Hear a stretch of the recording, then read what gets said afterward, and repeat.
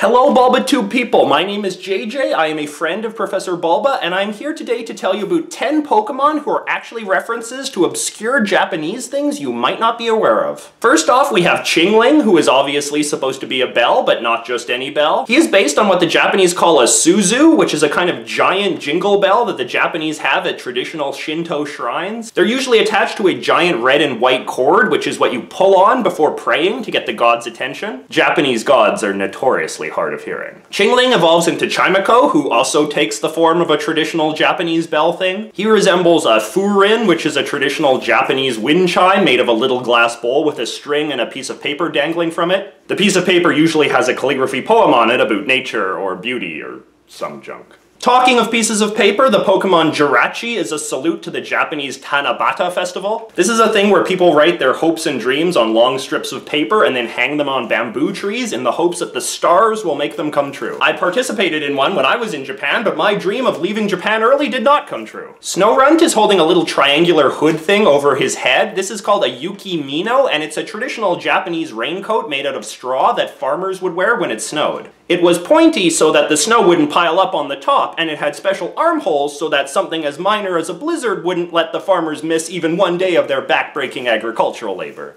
Bronzong is another one of the many, many bell-themed Pokemon. He is based on a Dotaku, which is an ancient style of Japanese bronze bell that was common in the first century. Apparently archaeologists do not know exactly what these were used for, but my guess is it involved ringing. Speaking of archaeological weirdness, Claydol is based on a clay doll made by the ancient indigenous people of Japan thousands of years ago. Eventually Japan was of course taken over by Chinese migrants, but some of the indigenous people are still around and they're still able to sell their clay dolls to ignorant gaijin tourists like me. Ninetales, the nine-tailed fox, is not just some sicko furry thing. He's based on a Kyubi no Kitsune, which is a traditional character from Japanese folk mythology. Japanese folk legends often feature magical fox characters, and in the world of Japanese folklore, a fox grows more tails as it gets older, with a nine-tailed fox being the oldest and most magical. This is in contrast to nine-tailed furries whose only magical power is difficulty sitting down. Thundurus, the thunder Pokemon, is based on Raijin, the Japanese god of thunder. He hangs out in the clouds clouds and is surrounded by a ring of drums that he bangs to make with the thunder. The Japanese also believe that he steals the belly buttons of naughty children. It's true, look it up. Everyone's so sick of Meowth, it's easy to forget that he has a Japanese connection too. That coin on his forehead obviously doesn't look like a normal coin, and that's because it is a Koban coin, which is the style of coin the Japanese used during the samurai times. The Japanese mint still produces solid gold Koban coins for collectors, and of course there are Hello Kitty ones too.